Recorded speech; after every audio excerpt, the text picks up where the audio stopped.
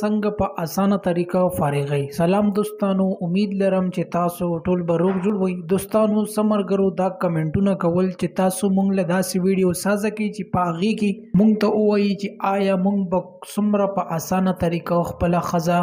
خلاصو ځکه چې ډیر مرګري دا شکایت کوي چې مونږ په ځواني کې غلط کارونه کړی دي او موټي مو وخلی دي نو د دې په وجه باندې مونږ نه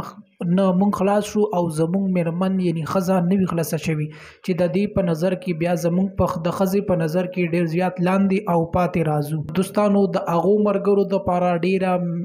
متبره ویډیو دی دا ویډیو در سره تر اخره وګورئ چې تاسو د مکمل معلومات نه خبر شئ تانو هغه کوم کوم کارونه دي چې تاسو یې په کوروالي کې وکئ چې هغې نه بعد بس تاسو میرمن تاسو نه مخکې خلاصیږي نو د دې په حق لا در سره مکمل معلومات شریکوم دوستانو که تاسو زمونږ دا چینل نه سبسکرایب کړئ نو زمونږ چینل در سره ضرور سبسکرایب کړئ او کوم مرګري چې کوم څنګه کوم ټاپک باندې ویډیو جوړول غواړي نو هغه مونږ ته په کمنټ کې ووایي دوستانو دا مسله ډیره عام دی چې زمونږ خزي نه خلاصيږي او مونږ خلاص شو ځکه چې ډیر مرګري داسې وي چې هغه په ځواني کې غلط کارونه کړي چې د هغه په وجه باندې هغه ډیر زیات زر خلاصيږي نو دوستانو هغه دا کومې طریقې دي چې بیا به خزه تاسو نه مخکې فارغي نو دوستانو چې تاسو کله کورواله د خزي سره کوي نو دوستانو تاسو ور سره پهله نه پیار کوي او په هغه تا په سینو باندې چکونه لګوي او د هغه سینې تاسو جوپي چې په کومې طریقې سره به خزه ډیره زیاته په شهوت کې راځي او په زور کې راځي